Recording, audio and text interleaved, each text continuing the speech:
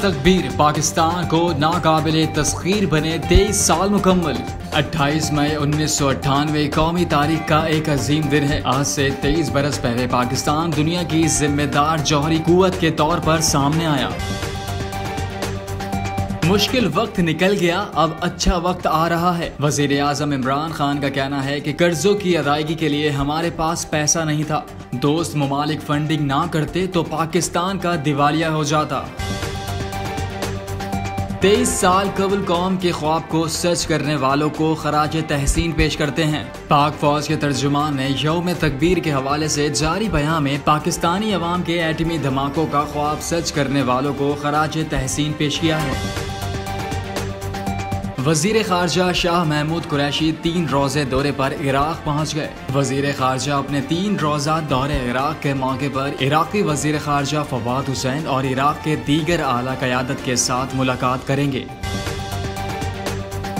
बशारतुल असद पचानवे फ़ीसद वोट लेकर चौथी मरतबा शाम के सदर मुंतब शाम में होने वाले इंतबात के सरकारी नतज के मुताबिक बशारतुल असद चौथी मरतबा जंग जदा मुल्क के सदर मुंतब हो गए। ताहम मगरबी ममालिक का कहना था कि इंतबात आज़ादाना और शफाफ नहीं थे।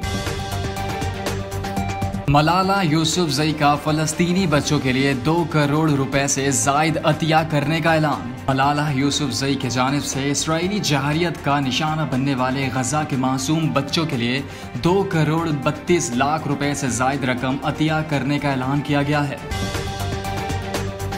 समुद्री तूफ़ान यास ने भारत में तबाही मचा दी। हज़ारों अफराद बेघर हो गए। खलीजी बंगाल में पैदा होने वाला यास तूफ़ान गुजशत रोज अड़ीसा में वाक़ बालासूर के साहिल से सुबह सवा नौ बजे टकराया। कौमी सितारे अबू धाबी में जगबगाने को तैयार। पी एस एल सिक्स के अबू धाबी में मुंतकिल किए गए बकिया तमाम मैचेस जून के पहले हफ़्ते में शेख जद स्टेडियम में खेले जाएँगे।